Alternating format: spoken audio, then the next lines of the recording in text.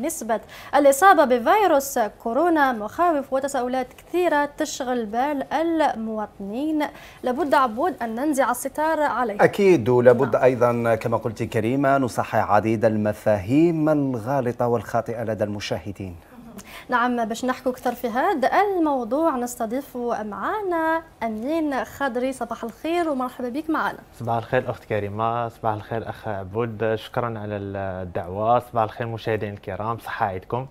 شكرا العفو. شكرا لك أمين. أمين الكثير من المخاوف أصبحت تتصاعد داخل البلاد خصوصا مع ارتفاع كما قالت كريمة عدد المصابين بفيروس كورونا.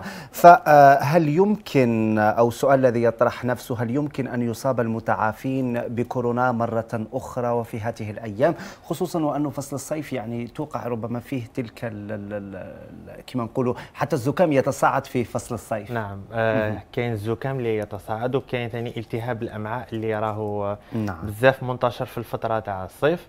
بالنسبة اذا ممكن يتصاب المتعافى من فيروس كورونا بالطبع لأنه مع المتحور الجديد اللي هو le sous-variant تاع أوميكرون اللي هو BA 5 الأعراض نتاعو هي نفسها كالأوميكرون والمناعه والمناعة ولا يعني les IgG يكونوا آه، هابطين. donc آه، يقدر يعاود يتصاب مرة أخرى. نعم. يعني امين لو تعطينا لمحة حول هذا المتحور آه، الجديد. نعم.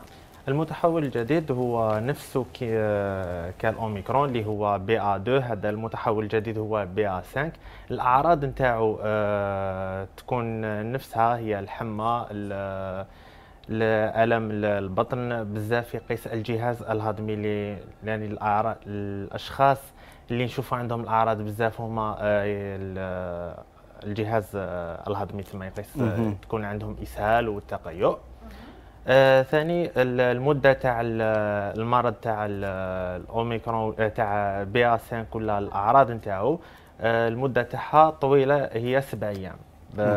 par rapport l'Omicron اللي هي خمس أيام أربع أيام خمس أيام نعم وحتى يعني كريمه فيه الكثير من المواطنين يعني ربما اخذوا التلقيح وخايفين انه يتعرضوا مره أخرى لهذا المتحور التلقيح يساعد الجهاز المناعي باش يحارب الفيروس مش معناها كي دير التلقيح ما راكش راح تمرض بالفيروس نعم. تاع يعني الكوفيد مع أنه كاين ناس اللي آه، اللي داروا التلقيح آه، وهما مرض بالكوفيد.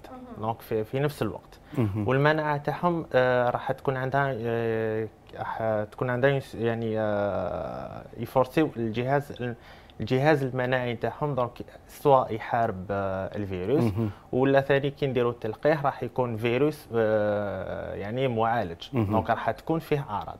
نعم. على هذيك ما ننصحش الناس يديروا التلقيح في الفترة تاع المرض. donc يستناو مدة معينة يعني هي 10 أيام من بعدها يديروا تحليل من أفضل la PCR parce que le test antigénique ما راهوش fiable parce que كاين مش فعال des fois ماشي فعال كاين des faux négatifs يعني كاين أشخاص اللي مرض بالكوفيد بصح في التحاليل يخرج لهم سلبي.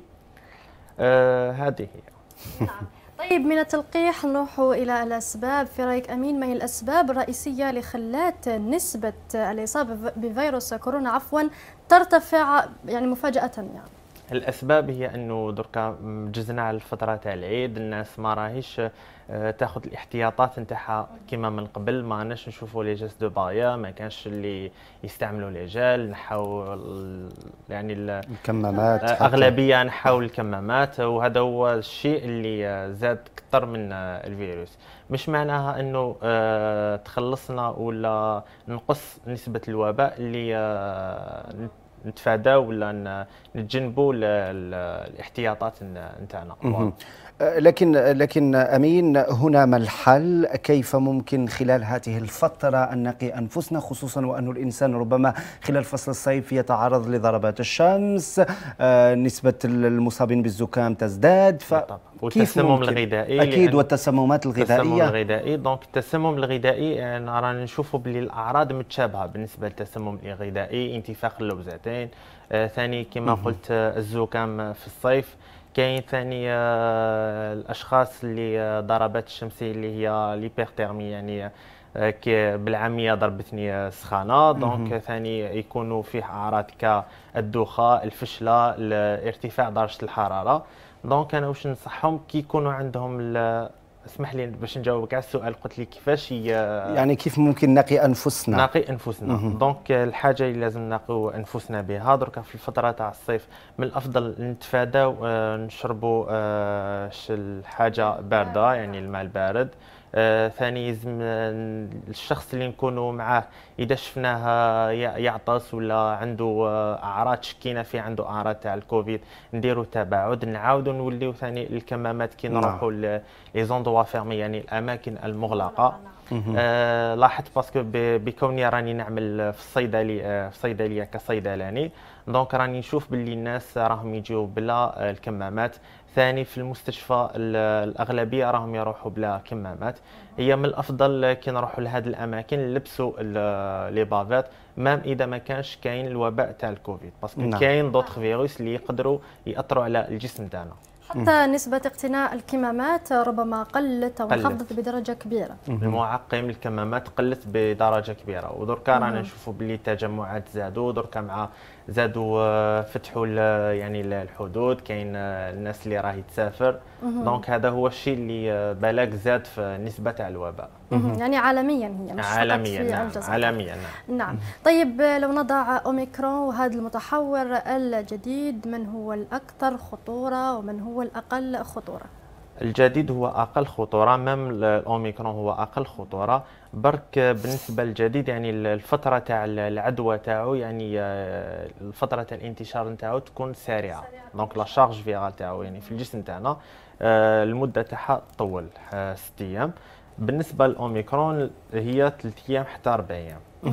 donc هو أقل خطورة ما ماشي donc من ما راناش نخوفوا في الناس mais رانا نقول لهم باللي آه، ياخذوا الحذر نتاعهم. أكيد والحمد لله أنه أقل خطورة من ربما من المتحور السابق وحتى نعم. من آه، يعني المتحورات السابقه المتحورات السابقة كلها أكيد. وحتى البداية اللي كانت طبعا بكوفيد 19 أو كورونا وأين أرهبت كل الجزائريين والعالم. آه طبعا أمين الكثير من الناس خلال ربما ربما المحنة اللي مرت علينا كانوا آه، ربما مصابين لكن لا يذهبون إلى الطبيب أو حتى إلى المستشفيات فقط يقتنيوا ربما مضادات حيوية, حيوية. ويبقوا داخل البيت فهل تشوف هذا خطر ربما في هذه المرحلة؟ هذا الشيء يسبب خطر لأنه آه، كما قلت باللي جزنا على متحورات عديدة donc من قبل آه، الناس اللي آه، الجسم تاعنا كي آه، كي نستعملوا كي نتناولوا المضادات الحيوية بزاف راح تكون عندنا une résistance يعني راح يكون تكون عندنا بكتيريا اللي résistante يعني تتح... ما ما تشرب الدواء ما راحش تكون يعني المفعول تاعها. نعم. ما يكونش كاين استجابة لها آه كاين ناس ثاني اللي اللي في بالهم باللي مرضوا déjà بالكوفيد donc يستعملوا نفس البروتوكول ولا نفس الدواء نفس المضاد الحيوي وهذا الشيء خطأ لأنه يقدر يكون هذا هذا الالتهاب يكون فيروسي أو ماشي بكتيري. آه، من الأفضل يشوف مع الطبيب. donc في 48 ساعة أنا واش ننصحهم؟ يعسوا الحراره نتاعهم donc لمده 48 ساعة. من بعدها إذا ما كانتش يعني تحسن هنا لازم يشوفوا مع الطبيب المعالج وهو اللي يمد لهم الدواء اللازم. نعم. طيب امين نروح إلى فئة الأطفال. هل الأطفال يقيسهم هذا المتحور الجديد؟ للأسف نعم. donc الأطفال يقيسهم المتحور الجديد même أوميكرون قاس الأطفال. وبالنسبة للأطفال يعني الأغلبية تاعهم ما تقاسوش بالمتحور الجديد نعم. تقاسوا بالالتهاب la gastro-entérite يعني التهاب الأمعاء. على وهذا من من التسمم الغذائي اللي صرا يعني اللي صرا بكثرة. من الناس اللي تستعمل اللي ما تغسلش الفواكه نتاعها اللي نعم. يعني ما عندوش علاقه بالمتحور الجديد لا؟ ما عندوش علاقه يعني الاغلبيه ما عندهمش علاقه لكن يصرى خلط يعني نوعا لكن يصرى خلط. وثاني باش ننبه ثاني كاين بعض الأشخاص اللي عندهم متحور دلتا يعني اللي تقسنا به العام اللي فات. نعم. يعني مازالهم بهذا المتحور دلتا. يعني مازالهم صغيرة. نعم. وأكيد يعني كنت قلت عن التسممات الغذائية وهي يعني اللي تنتشر بكثرة خلال فصل الصيف لو نحكوا عليها قليلا. التسمم الغذائي وبالأخص ثاني مع الفط مع العيد هذا يعني ما عندوش بزاف. donc مع اللحوم الناس اللي ما يطيبوش بزاف اللحوم donc la cuisson تكون ماشي طيبة. bien يعني البكتيريا نعم. اللي هي ال salmonelle. donc ما راحش يقتلوها لهذيك ننصحهم يطيبوا bien اللحوم تاعهم même البيض ثاني يطيبوه bien. donc كاين ناس ثاني اللي ما يغسلوش الفواكه.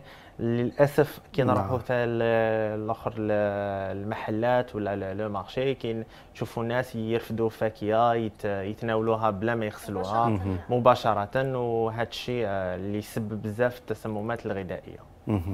نعم طيب أمين في الأخير توجيهات للمشاهدين تقدمها لهم. آه، بالنسبة للمشاهدين ننصحهم يعاودوا يوليو يعني الاحتياطات نتاعهم donc les gestes de barrière يغسلوا يديهم مليح آه، وإذا ما, ما توفرش الماء donc يستعملوا آه، المعقم يلبسوا ثاني la bavette كي يطلعوا في les bus المترو ولا الأماكن العمومية والمغلقة. آه ثاني يتفاداو التجمعات في هذه الفترة. على بالي باللي صح كرهنا من نعم. الوباء mais الله غالب. دونك يلزم يلزم أخذ الاحتياطات. وثاني في الفترة تاع الصيف كما قال الأخ عبود بالنسبة للأكل نتاعهم يلزم يخليوه في درجة حرارة معينة ثاني يغسلوا الأكل تاعهم مليح يطيبوا الأكل تاعهم ثاني بالأخص اللحوم الأسماك يطيبوها مليح. وإن شاء الله ربي يرفع علينا هذا الوباء و وثاني يتهلاو في صحتهم بالأخص الصحة تاع الأسرة تاعهم. نعم. ان شاء الله يا رب. آمين. شكرا لك أنك كنت ضيفنا خلال هذا الصباح.